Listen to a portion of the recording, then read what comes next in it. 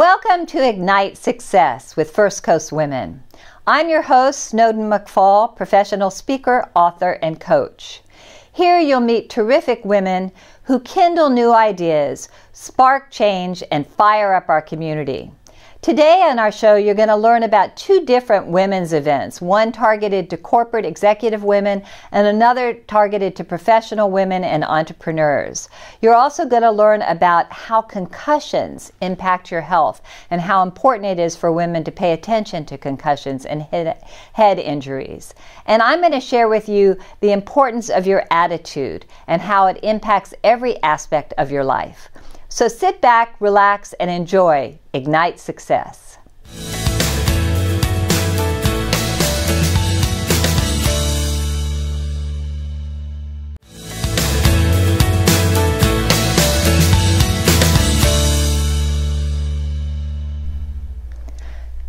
Today on Fuel the Fire, we have a guest from Holland and Knight, Chris Schwing, and she's here to talk about not only what happens at her law firm, but the Jacksonville Women's Leadership Forum. Welcome, Chris. Thank you.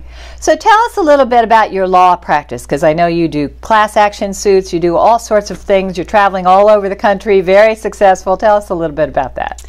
Uh, well, I've been at Holland and Knight for about 15 years. Uh, I started as a uh, fresh out of school as a summer associate and uh, worked all the way up to equity partner and uh, and I love every minute of it. Do uh, defending uh, companies primarily, a lot of litigation, corporate litigation, uh, class action defense, and it ranges from Florida, as you said, all around the country. So. I know you're always traveling. You're very busy. It makes it difficult for you and your beautiful daughter and family. Yes, quite a bit of travel recently here. so about eight years ago, you and a group of other women founded the Jacksonville Women's Leadership Forum. Why did you do that and what's it all about? That's right. So, what we found is that there were not, while there were a lot of women's forums or women leadership conferences, there were not any that were really targeted for corporate executives and that we were having to travel out of state to go to those types of uh, leadership forums. And so we decided to have one here in, in Jacksonville uh, for the women of the First Coast. And so that's what uh, that's when it started. 2012, we became wow. an official nonprofit, and uh, and it's been booming ever since. So I know you've got an upcoming conference, and it's when is it? Uh, our annual forum is in March. It's this year. It's March 27th and 28th. It's a two-day conference, uh, and it, it starts. Our kickoff event is on the night of the 27th at uh, at Mercedes, and uh, and then our forum is on the 28th at the Schultz Center. And it's an all-day event. Uh, on the 28th, it's an all-day event. Starts at 7 uh, 7:30 with breakfast, and then we'll have a our finish uh, post-party event uh, that Mayo Clinic is sponsoring, uh, and and then that'll be the night. So. so the theme is "Be Fearless," right? It is. And why did you pick that as the theme? Well, for a couple reasons. Uh, we decide what the pro- programming is going to be for the next year based off of the input that we receive from surveys of guests that have attended from the prior year. And so we were seeing a lot of information, people wanting to hear more about how they could get more comfortable, more confidence, uh, take more risks, calculated risks. Uh, and so we came up with the Be Fearless theme for, for this year which is awesome. And I know innovation is also a part of that, right? It is. Innovation, inspiring, um, all of that is going to be part of influencing part of the theme as well. And you've got some terrific keynote speakers, I understand. You would you like to share with us who those are? I can. So uh, Libby Gill will be our morning keynote. Uh, as you as you know, she has been head of uh, Sony, uh, Universal, um, and so she is uh, I think authored five books and is coming to talk about how to turn fear into fuel. Mm. We're very excited to have her. And then in the afternoon, we'll have Tammy Heermann as well, uh, who is a, a executive coach as well as speaks around the country on leadership advancement topics. And so she'll be talking about uh, how to fuel your uh, inner ally and really help break down some of those limitations that could be derailing your career moves. And then you have a series of breakout sessions too, right? We do. We have panels that uh, that we will pull from. We'll have a morning panel and an afternoon panel, and those will be with various uh, executives from around town. Men and female executives will uh, will be on those panels. I know. I think we've got some pictures that are going to show, and you'll see Darnell Smith, and you had a number of other executives locally from last year, right? Yes, those are. We've had some. You can go on our website. It shows all of our uh, past and current speakers that are lined up uh, for this year, and uh, we we really have some great uh, speakers. That's we, we bring in national speakers, but also our local speakers are just uh, have amazing stories and, um, and and just great tips for everyone. So. And Black Knight is one of your big corporate sponsors, is that right? Black Knight is our top sponsor this year. They've uh, they've held that seat now a couple years in a row, and so we're very thankful for them. Uh, but we have a lot of sponsors, and we know that we couldn't bring the programming uh, to uh, to Jacksonville without the support of our corporate sponsors. Uh, and so Black Knight is one. Um, our other top sponsors are uh, Mercedes Benz of Orange Park in Jacksonville, as well as the Mayo Clinic. And then there's a whole host of other sponsors that are on our website. We actually just had one join us yesterday. Oh, that's terrific. So there's a lot of interest in this. Oh, there is. So I know that women out there, first of all, it's corporate women. Who is your ideal target market of women to come to this event? So we really try to gear our programming toward mid to senior level women executives. Um, and this year we're actually trying to encourage more men uh, to come to the forum as well. We think that it's important to have men at the table uh, and get involved in these discussions. And so we've been uh, actually really encouraging men executives to uh, come to the forum as well. And we're seeing more of that happen over the over years. So why men at a women's conference? Because you know men have plenty of male conferences. Well, because if we're going to affect change, um, we need to have everyone at the table talking about it. Uh, it's it's not as powerful if we have a group of women that are talking about how things need to be changed as if we have everybody that's going to be involved in corporate America there uh, to get into the discussion. Uh, yeah, I couldn't agree more, and I think the collaborative nature of things is very important. So, how can people register for the event? What is your website? So our website is uh, jwlf.org. jwlf.org. Right. Okay. Jacksonville Women's Leadership Forum. And uh, and so you can go to the website. There is a link there to uh, purchase individual seats if you want to do that. Or there's also information there to about becoming a corporate sponsor. And we've got sponsors at all different levels. We really don't want any company to feel that they can't send their executives to our forum. Thanks so much for being with us, Chris. I wish you great success. Thank you. Coming up next is our Success Sparks.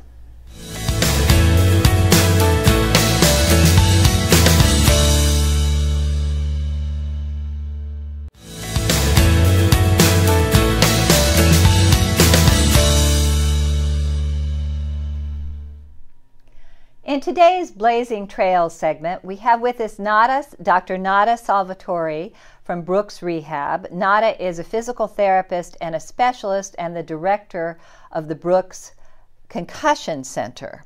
And she is one, you're in the 1% uh, of physical therapists who have what certification? So I'm a fellow of the American Academy of Orthopedic Manual Physical Therapists, which is just about 1% of our profession has that kind of training. Which is which means she's very established. So Nata, thank you for being with us. I understand that concussions are a much more serious issue than we have thought, and particularly relative to women and children. Can you speak to that? Yeah, so you know, it's definitely a complex diagnosis. Um, right now, we don't have anything to diagnose it objectively, so it's a diagnosis of subjective report.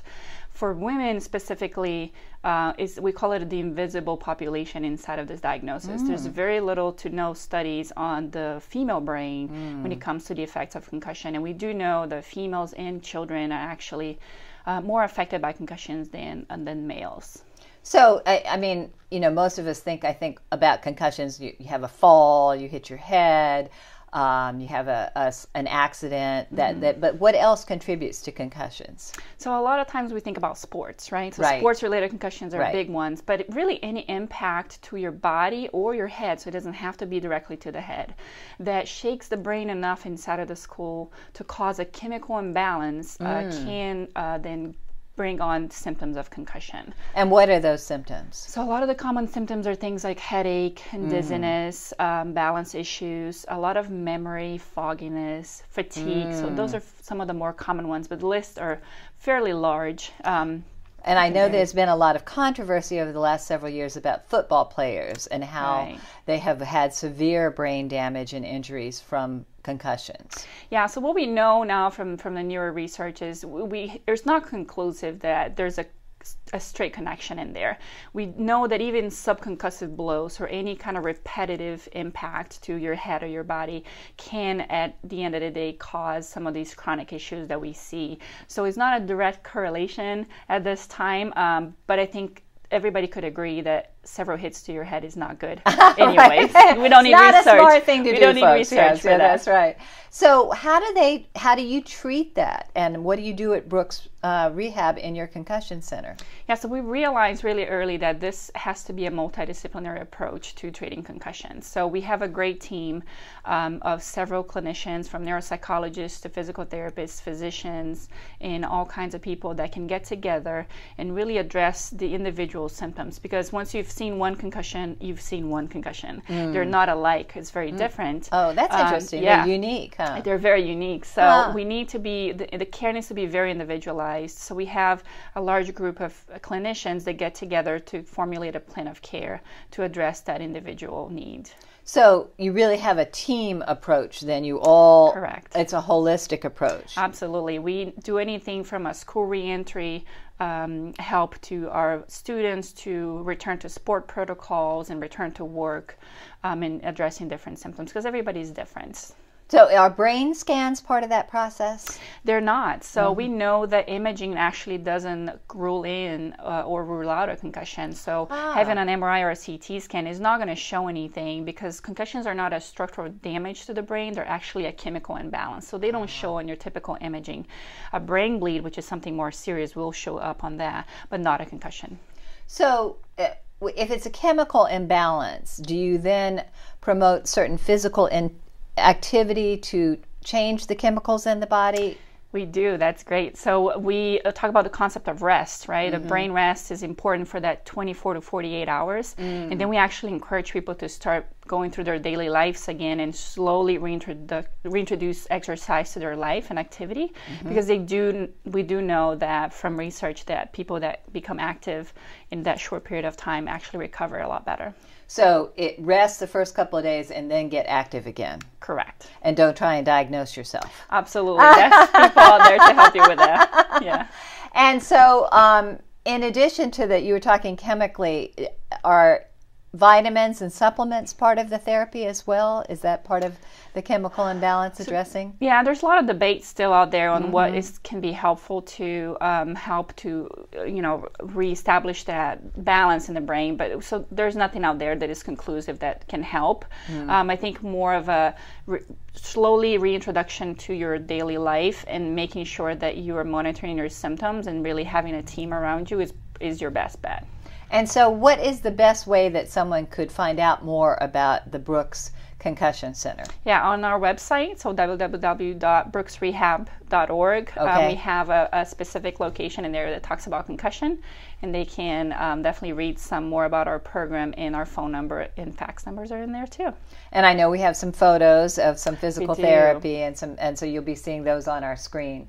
Well, thank you Nata so much for being with us today. We appreciate all that you do and uh, keeping your brain healthy is really important. Taking care of your children and your own self when you have a concussion.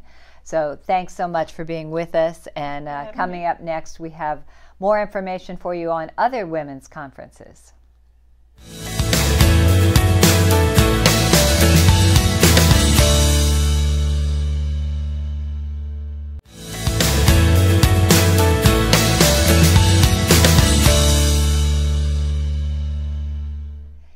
In our Success Sparks segment today, we have two dynamic women here with me April Caldwell and Kim Bynum.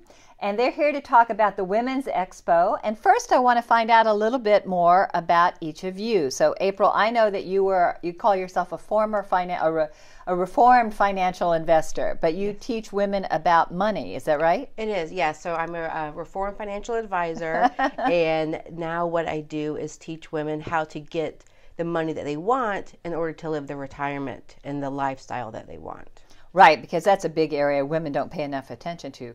Right. I mean, we're, we're so busy, right? We do so many things, and the women I work with are they're, they're brilliant, smart, accomplished, and they do not want to come home and deal with their money. Right. So that's where I come in.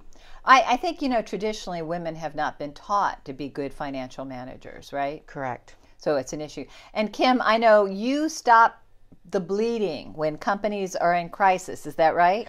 That's correct. Um, kind of like your crash cart surgeon in the ER. So if you've got a team or a business that is a little dysfunctional or having issues, I like to jump up on the table and stick my hand in their aorta, stop the bleeding, get them stabilized, and then send them on to recovery.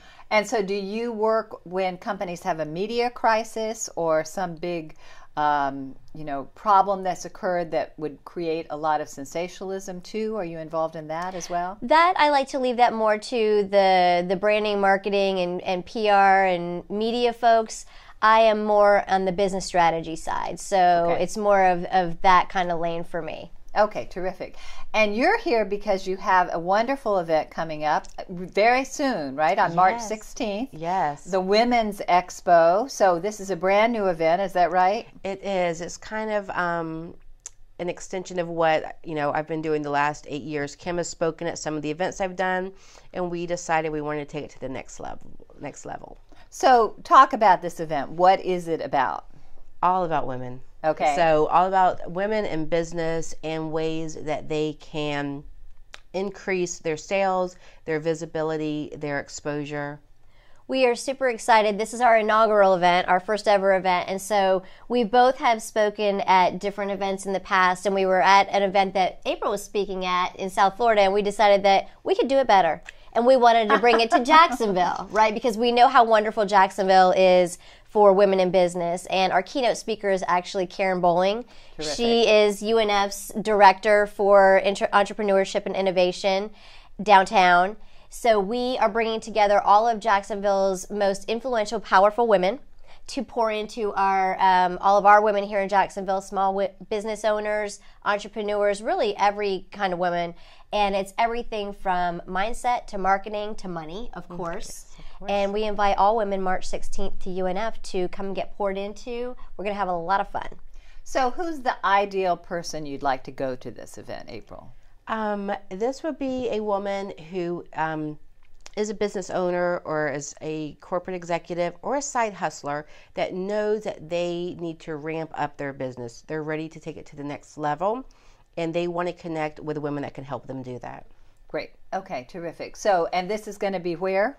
It's at UNF at the University Center there. Um, Herbert Herbert Center. Yes. Yes. Okay. Terrific. And and uh, what are the times on this event? So this is a day long event. Okay. So this is nine to five. If you stay for the VIP hour, we are going to have 24 speakers in four different breakout sessions. So the hardest choice, besides picking what your lunch will be, will be which speaker to go and see each hour.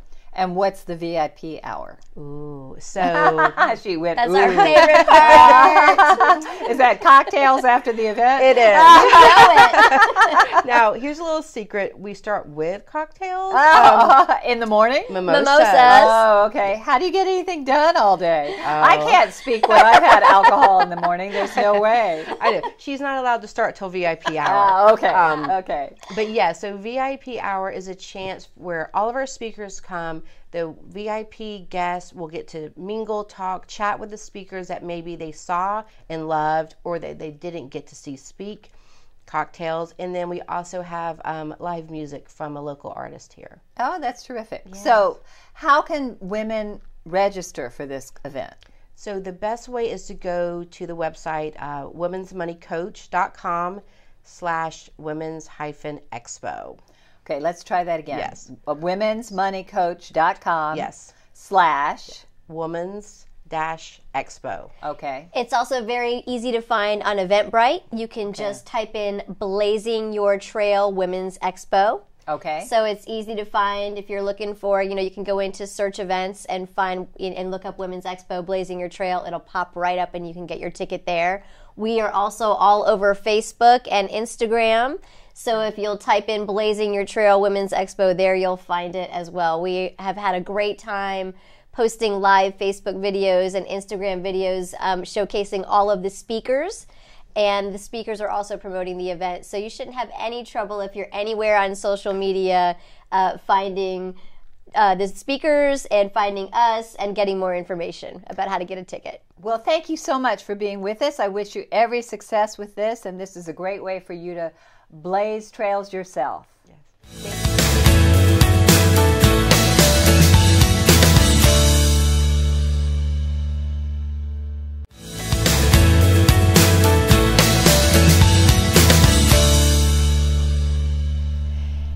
In today's Keep Your Fire Burning segment, I want to talk to you about attitude.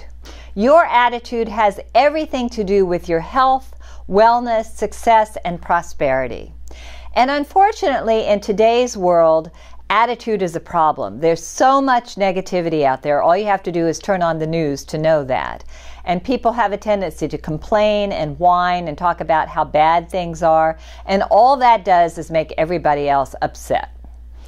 Your attitude is so critical. Dr. Daniel Amen has said, and he's a brain specialist, written many, many books. He has said that attitude has everything to do with your healing and your capability of recovering from disease and illness.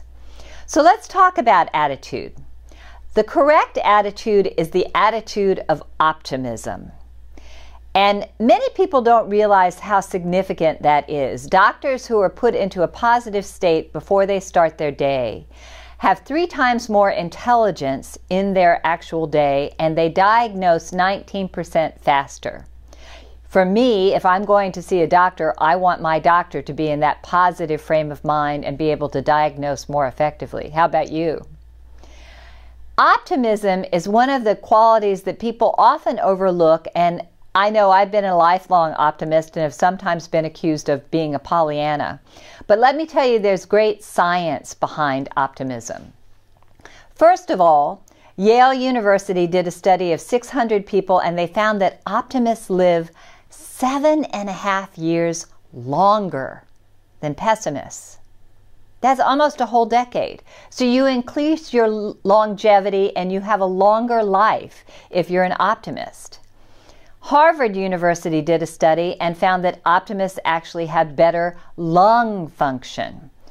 Think about that. Optimists literally breathe easier. And optimism is a learned skill set. It's only 25% inherited. So even if you had very negative parents, you can still train yourself to be an optimist. The National Institute of Health found that pessimists have a much greater chance of disease. 23% of the women that they interviewed for this study ended up dying early because they were pessimists. And pessimists have a 25% greater chance of contracting heart disease. So there's a great deal of evidence to support the value of optimism. So, how do you overcome the negative self talk, the negativity of today's world, the things you see on, self, on social media, and become more positive and gain a more positive, optimistic outlook? Well, one of the things you want to do is really consider who you surround yourself with. They say that we are the product of the top five people that you spend the most time with. So, what are those people like? Are they complainers or are they cheerleaders? Are they people who look at the bright side of things or are they people who are always looking for the bad news, the Eeyores of the world? You want to avoid the Eeyores as much as possible. I call it the Ain't It Awful Club at the cafeteria in the office. Those are the people who, no matter how bad your problem is, they've got it worse and they're going to tell you that. Stay away from those people. If you're married to somebody like that, try and shift them. And one of the ways you can do that is ask them when they start to go into their litany of problems, say, Well, what's the good news? My husband and I have a practice at the end of each day when we come in, if one or the other of us is complaining, we say, Well, what good things happened today? And we immediately focus back on the positive. It's an important habit to get into. Other ways that you can focus on more positivity and be more optimistic are to be kind and gentle to yourself. Women in particular are very judgmental and we're hard on ourselves. We expect ourselves to be perfect. And you know what? There are no perfect people out there. We do the best we can with what we have. So be kind to yourself. Praise yourself and be kind and praise other people. Be a cheerleader and a champion for other people. Other ways that you can use to make yourself more positive are to look for inspiration. Michael J. Fox is somebody that inspires me, and he's done an amazing job dealing with his Parkinson's. And I read an interview where he was talking about his children and how he handles their complaining. He read a story about a woman in Mozambique, and there was a big flood in Mozambique, and the woman had to actually climb a tree and she was nine months pregnant and she gave birth in the tree. So whenever his kids complain he says look a lady had a baby in a tree. How bad can your life be look and read inspirational stories look up and find biographies watch uplifting movies spend time around positive people Make a list of daily successes that you've had and make a list of the things that you're grateful for. Grateful people are much more optimistic. You manifest what you focus on most. If you're continually focusing on bad news and what you see on social media that brings you down, you're going to create more of that. But if you focus on good news and focus on the good things that are happening and really be impeccable about what you allow into your consciousness from what you watch and what you read and who you connect with, you can have a much more positive outlook. And that's going to keep your fire burning.